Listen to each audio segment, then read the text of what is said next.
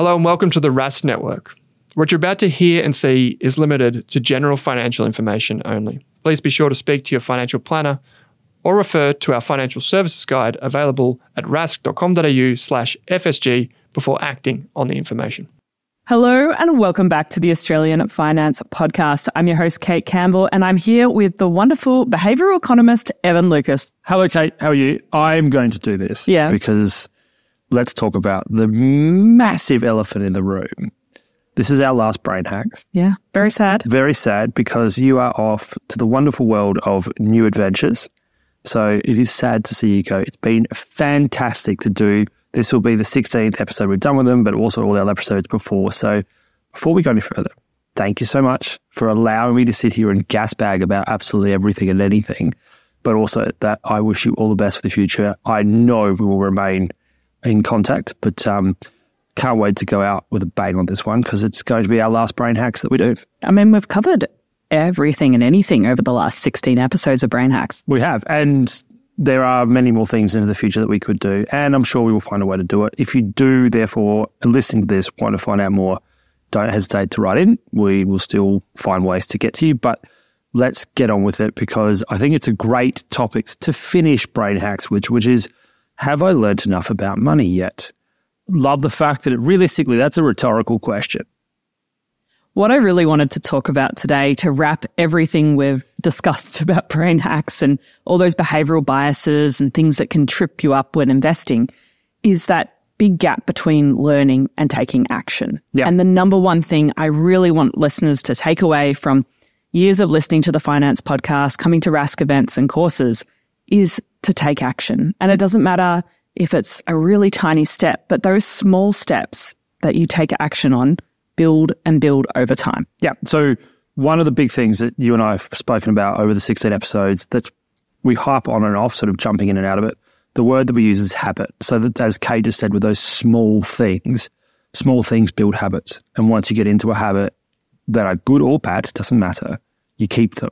So the small steps builds habit. And we've used the analogy, or at least I did many, many times before, which is you can't just go out and run a marathon off the bat. You've got to start small and build up to that big event. It's the same thing. The big event being financial autonomy, if that's what you want to call it, or having the ability to do what you want, when you want, whatever, you know, thing that we've used with regards to buzz terms, singers, acronyms, everything in between. Whatever that is, that's the take action because the take action leads to habit. Habit leads to constant action. Constant action will lead to whatever that goal happens to be. Because this is the other thing is that we've tried to get to the idea that behavior will get you to your goal. You can, I mean, I work in economics and all that kind of stuff. I can sit there and tell you all the numbers you want, but every single time you will glaze over because it doesn't matter to you. But the behavior does because that is something you can change yourself. So for this, we wanted to basically go through and look at all of those things that we've gone through over the last 16 episodes. What really do and don't hurt you? What do and don't lead to certain actions, etc. So for you first, it's one of your favorite terms. I know that. Go through analysis paralysis. Why and have you learned enough yet on analysis paralysis to say that you can inverted commas conquer it? Well, Evan, while I still look at Netflix on the weekend and uh, spend 10 minutes browsing different shows and debating with my sister, oh, she's seen that one, so I, we're going to have to watch something else. And she doesn't want to watch this type of show, and I don't want to watch this type of show. So I don't think I've fully cured analysis paralysis in my life. It definitely it pops up from time to time. But when it comes to investing, that's somewhere that I think I have cured analysis paralysis, at least into to the most point. And that is because I've made decisions regarding my investment. I've automated them and I'm not looking for the next shiny thing all the time. And that can be the real trap when you are listening to a lot of finance content. At the very beginning, you're going to see so many different options. But at the end of the day, you're going to have to just pick a few, do your research, make the best decision you can with the knowledge you have at the time, and then go with that. And at the end of the day, if you decide in a year or two time that you don't like that brokerage account and you want to choose another one, you can transfer your holdings across. There's lots of options when it comes to your money. And I really want people to not get held back by analysis paralysis. Yeah. So my argument on the way I look at it is that I say that you never stop learning. So I openly tell people how old I am now. I'm now 40. And Congrats. I would, thanks. Um, I got here. I've survived. I'm still. You arrived on this earth. I did. I, I've been doing this now and it scared the hell out of me. I've been doing this for almost 20 years. Um, and I would argue that I probably believe that I know less now than I did when I first started. And that's also pretty natural. The overconfidence thing is a huge thing. It's a thing we've gone through on this podcast. But overconfidence also means that if you can start addressing that, you will come back to that point of view. So learning never stops. But the other way I would look at it is perfect is imperfect because if you want perfect, as Kate just said, with choosing a brokerage account or choosing the right stock, choosing the right ETF, it doesn't matter. I don't care what vehicle it is. It's not perfect. None of them are. Because if it was, every single player out there would be in that perfect scenario. And even the greatest investors on the planet, Warren Buffett, people like him, openly admit they don't have a perfect system, but they have a system that can get over all of the issues that you can easily find to stop you, Kate's analysis paralysis, or loss aversion, or overconfidence, simplification, whatever terminology you want to use. That I think is what I've learned. The learned that I have known is that there are many plethora ways of stopping yourself, except perfect is imperfect. That I think is the biggest takeaway from all of this because as soon as you don't act, as we've said at the start of this and said through the entire series, that'll lead to actually worse outcomes. And again, go back, cash versus any form of other asset that appreciates, you, you, you're dead in the water. And so, yeah, perfect is imperfect. And one of the other things that have popped up time and time again over the years when we've spoken to people at events is that they're waiting to be more confident about investing and their knowledge and their skills before they start. Mm-hmm. And the thing is, we become confident through action. Confidence isn't something that we can build up purely theoretically. It's something we have to build through taking action. And it feels scary because when we look at finance, we think it's complicated. And that's what the industry wants you to think because there's lots of money for people to make. But at the end of the day, it doesn't have to be complicated. It does take your t- time to get your head around it. But I think that everyone has the capacity to manage their own finances. And yes, they'll see a financial advisor where appropriate, an accountant, but you have the skills to understand the basics. Yeah. And so that next question that brings up the one that you and I also love to talk about, which is wealthy v rich, because you normally that first point, that underconfidence, that stuff that makes it hard is that you see the rich, you don't see the wealthy. So you see those people that are making incredible amounts of money, that have lots of money, and I deliberately use have lots of money. They must be therefore doing something that's incredible, taking risk that's incredible, etc. That's something I can't do. Rich people are not wealthy people. They're not the same. Remember, wealth in what we always talk about, wealth is having financial autonomy. It's where you don't have to think about your money. You don't have to have that fear all that underconfident about You've what got you're that emergency fund. You know you're going to be okay if an unexpected expense pops up. Correct. That gives you wealth. That gives you autonomy. That's that's not just a mindset difference. It's also around understanding that you are you, I am me, as I always sort of talk about in my world, is that a rich person is them. Who cares? So what? Don't worry about them. You're running your own marathon, you're running your own race, you're running your own money autonomy race. And as soon as you start thinking about my wealth is the ability to do my goal, whatever that happens to be. As Kate just said, it could be your emergency fund. It could be finally getting your finances just in order, right? Rather than, you know, cycling through debt on a constant basis of personal levels. Whatever it is, that's the wealth, right? So all of a sudden you've gone from being basically income dependent, most likely asset poor, to having both. And even if it means that your asset poor goes from being negative to just neutral. That's the step. Then you are becoming wealthy because your money no longer is just sitting there working against you or ticking over a level that creates levels of anxiety that goes back into the personal, actual physical attributes of, of mindset and etc. As soon as you don't have to think about your money, that's when I would argue you're starting to become wealthy. And whatever your wealth is then is defined by you. not by that person that you see on Instagram or that you see in the media that is inverted commas rich.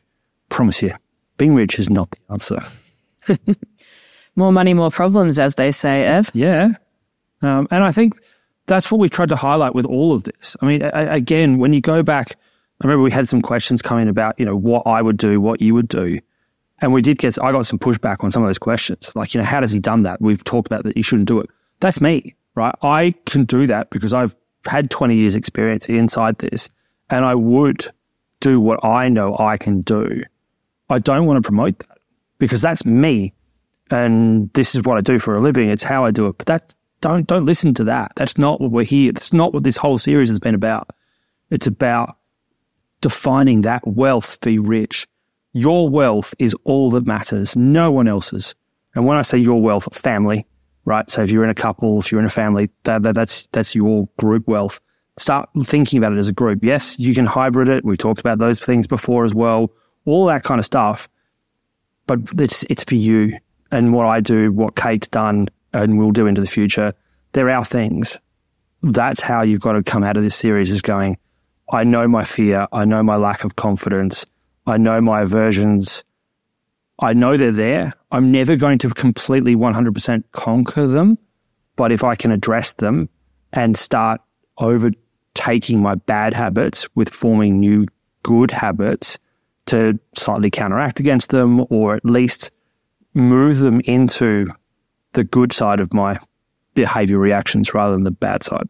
Mm. And that's what I wanted to talk about with that idea of are you stuck in learning mode where you just keep learning new things, but you never take any action or yeah. start applying them. And I think the most important thing with finance, because it can seem confusing and complex, is that you need to learn a bit about savings accounts, then sort out where you're going to put your money. Yeah. Then you learn a bit about super, then you investigate your super and find out where it is. You learn a bit about tax, you do your tax return. So I think finance has to be an applied thing. And so if you're listening right now and you've been learning about money for a year or two and you haven't made any changes, I'd take this as a gentle encouragement just to think, what's one thing I can do today, this week, this month, this year to improve my finances? Can you write it down in your notes app now and just take action because it's so important that you don't look back in 10 years and go, I learned all this stuff about money, but I never did anything with it.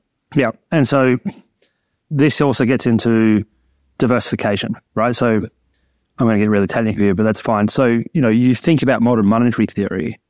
Oh, you you went right to it. I went right to it, right? So you think about somebody like, you know, Harry Markowitz, who came up with modern monetary I theory. I commonly think about him. Yes, all the time.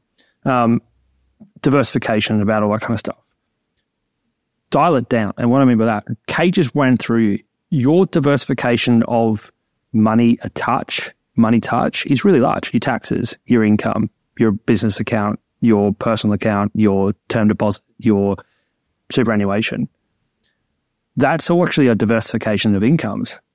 And if you can start looking them as one, it can actually kick you past that learning about everything but not actually taking action. Because all of a sudden you can look at your superannuation and go, oh, I've been working for 10 years and 11% of my income now or back in the day, you know, 9% of my income has been going in there for 10 years.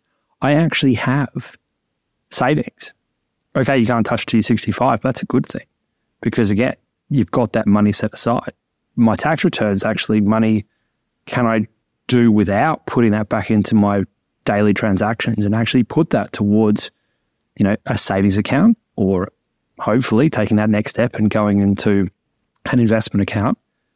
That my super and my investment account all of a sudden become inverted commas, a diversified form of your overall assets. And what the studies show is that when you can see the whole rather than the pieces, you start to actually appreciate it more. Gets back to that whole new thing that's coming up, and I do really love it, which is gratitude.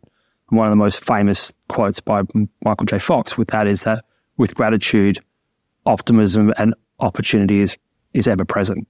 So as he talks about, is that as soon as you start uh, being gratitude for what you have, abundance becomes more and more. And you'll see your money in the opposite. You'll see your money as abundant rather than being scarce.